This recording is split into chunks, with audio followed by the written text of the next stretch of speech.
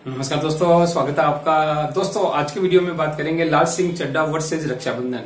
दोस्तों, दोनों ही फ़िल्मों को चार दिन कंप्लीट हो गए हैं तो चार दिन में इन दोनों फ़िल्मों का टोटल कलेक्शन कितना आ गया है? आज ये फ़िल्म कितना कलेक्शन करने वाली है? और दोनों फ़िल्मों का भविष्य क्या है? दोनों फ़िल्मों में से कौन सी फ़िल्म ज़्यादा बड़ी फ्लॉप होने वाली है? अभी तो मैं यही कहूँगा, अभी तो उम्मीदें ये लग रही है कि दोनों ही फ़िल्में बॉक्स ऑफ़िस पर फ्लॉप होने वाली है। लाल सिंह चड्डा का तो भविष्य तय हो चुका है वर्डिक्ट तय हो चुका है कि ये फ़िल्म बॉक्स ऑफ़िस पर फ्लॉप साबित होने वाली है। हो गई है, बल्कि मैं ये कहूँ तो भी गलत नहीं होगा। अब कितनी बड़ी फ्लॉप होती है डिजास्टर साबित होती है, इसके बारे में आज के वीडियो में चर्चा करेंगे। वहीं रक्षाबंधन के भी कलेक्शन उत्साहजनक नहीं है और रक्षाबंधन को भी अगर अपने बजट को भी कवर करना है तो बहुत मुश्किलों का सामना करना पड़ सकता है। तो पहले मैं आपको कलेक्शन के बारे में बता देता हूँ। सबसे पहले आपको बता दूँ कि फ़िल्म रक्षाबंधन ने पहले दिन कमाई थे 8.20 करोड़ रुपीज़ इंडिया नेट जो कि बहुत ही कम था, उम्मीदों से बहुत कम था। अक्षय कुमार की सबसे लोवेस्ट ओपनिंग इस फ़िल्म की रही है, इस साल की बात करें तो। बच्चन पांडे तथा सम्राट पृथ्वीराज की ओपनिंग भी इससे कई ज़्यादा रही थी। वहीं दोस्तों, दूसरे दिन फ़िल्म का कलेक्शन आया सिक्स करोड़ रुपीज़ नेट मतलब करीब बाईस परसेंट का इसमें ड्रॉप था कलेक्शन के अंदर। तीसरे दिन बात करें तो तीसरे दिन फ़िल्म का कलेक्शन आया करीब 6.51 करोड़ रुपीज़ मतलब थोड़ा सा मामूली सा मतलब सुधार था इस फ़िल्म का तीसरे दिन, दूसरे दिन के मुकाबले। चौथे दिन की बात करें तो कलेक्शन आज की बात मतलब चौथे दिन का मतलब आज संडे की बात तो आज करीब आठ से साढ़े आठ करोड़ रुपए तक इस फ़िल्म का कलेक्शन रहने की उम्मीद है।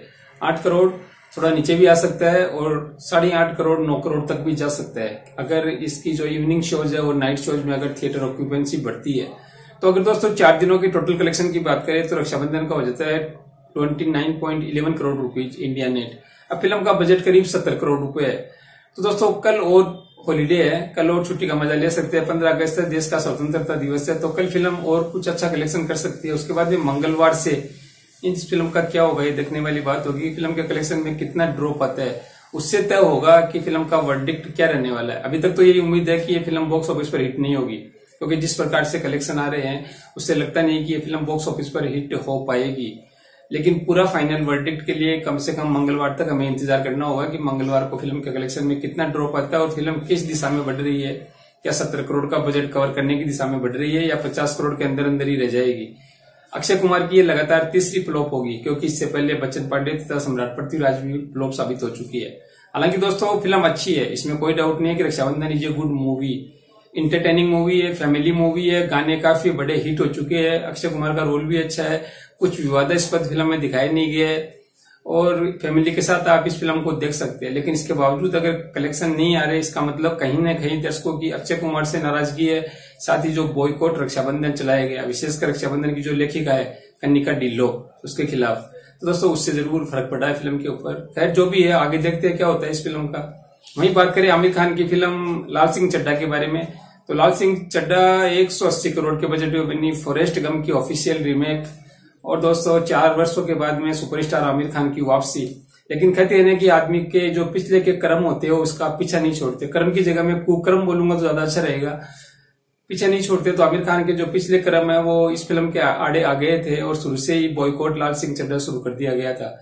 लेकिन यहाँ तक तो ठीक था। आमिर खान ने माफ़ी भी मांग ली कि, ठीक है, मेरी बात से दुख पहुँचा है तो माफ़ कर दीजिए। हिंदुस्तान की जनता काफ़ी भोली होती है, संवेदनशील होती है हो सकती है माफ़ कर भी देती। लेकिन लाल सिंह चड्डा में जो दिखाया गया, जिस प्रकार से भारतीय सेना का अपमान किया गया, भारतीय सेना को अपमानजनक तरीके से दिखाया गया, हिंदू सेंटिमेंट्स को एक बार फिर से हट करने की कोशिश की गई तो फिर इस फ़िल्म का क्या होना था, आप भी जानते हैं। तो फ़िल्म का बुरा हाल है, फ़िल्म फ्लॉप ऑलरेडी हो चुकी है। इसके कलेक्शन के बारे में जानकारी दे दू। पहले दिन फ़िल्म ने कलेक्शन किया eleven point seventy crore rupees India net दूसरे दिन कलेक्शन रहा seven point twenty six crore रुपए, तीसरे दिन कलेक्शन रहा eight point eighty crore rupees थोड़ा सा दूसरे दिन के मुकाबले तीसरे दिन थोड़ी सी बढ़ोतरी देखने को मिली। चौथे दिन की बात करें तो आज फ़िल्म करीब दस करोड़ रुपए के आसपास कमाई करने वाली है। अब दस करोड़ के नौ करोड़ भी आ सकते हैं। अगर इवनिंग शोज़ और नाइट शोज़ में अगर थिएटर ऑक्यूपेंसी नहीं बढ़ी तो और इसकी उम्मीद भी ज़्यादा नहीं है, क्योंकि फ़िल्म के प्रति बहुत ज़्यादा नेगेटिविटी आ चुकी है, और जिस प्रकार से इस फ़िल्म को बनाया गया है और ना तो एंटरटेनिंग है बल्कि बोर ज़रूर आपको करती है। ना ही इस फ़िल्म में कुछ ऐसा कुछ विशेष नज़र आ रहा है, सिवाय कुछ क्रिटिक्स जिसको आप जिसके क्रिटिक्स पे लोग भरोसा भी नहीं करते और कुछ फिल्मकार, कुछ फ़िल्म सेलिब्रिटी ने फ़िल्म को बहुत अच्छी बताया बहुत ही बेहतरीन बताया लेकिन असली मालिक, असली जो जनार्दन होती है, जनता होती है तो जनता को फ़िल्म पसंद नहीं आई। और जिस प्रकार से आपके कर्म है तो उसके अनुसार तो आपको ये भुगतना ही पड़ेगा। तो दोस्तों, कुल मिलाकर मैं आपको बता दूँ कि इस फ़िल्म का जो चार दिनों का टोटल कलेक्शन आया है वो करीब thirty seven point seventy six crore rupees है। फ़िल्म का budget one eighty crore rupees है। फ़िल्म के पास कल का दिन और कल ये फ़िल्म कितना कलेक्शन करेगी? दस करोड़ अगर और भी कर लेती है कल तो अभी पचास करोड़ के अंदर अंदर इस फ़िल्म का कलेक्शन पाँच दिनों का रहने वाला है। तो फिर मंगलवार से फ़िल्म के कलेक्शन में इतनी ज़बरदस्त गिरावट देखने को मिलने वाली है, जितना आप सोच भी नहीं सकते हैं। क्योंकि दोस्तों, छुट्टियाँ समाप्त हो जाएगी। पाँच दिनों का जो हॉलीडे वीकेंड था, वो खत्म हो जाएगा। इसके बाद में इस फ़िल्म का क्या होने वाला है? क्या ये फ़िल्म डिजास्टर साबित होगी? या सौ करोड़ तक भी पहुँच पाएगी या नहीं पहुँच पाएगी, अभी तो बिल्कुल उम्मीद नहीं है कि ये सौ करोड़ तक भी पहुंचेगी। सत्तर अस्सी करोड़ लास्ट लग रहा है मेरे को कि वहाँ तक पहुँच जाए तो ये बहुत बड़ी बात होगी। तो दोस्तों, आज के लिए इतना ही। आप बताइएगा अपनी राय। आप इन दोनों फ़िल्मों के बारे में क्या राय रखते हैं? और आपको, अगर आपने देखी है ये फ़िल्में तो कौन सी फ़िल्म आपको पसंद आई? और क्यों ये दोनों फ़िल्में पूरी तरह से फ्लॉप हो रही है? आप अपनी राय ज़रूर बताइएगा। साथ ही दोस्तों, अगर चैनल को सब्सक्राइब नहीं किया तो प्लीज़ ज़रूर कीजिएगा। और दोस्तों, वीडियो पसंद आया, अगर आपको वीडियो तो आप कृपया लाइक और शेयर कर दीजिएगा। धन्यवाद टेक केयर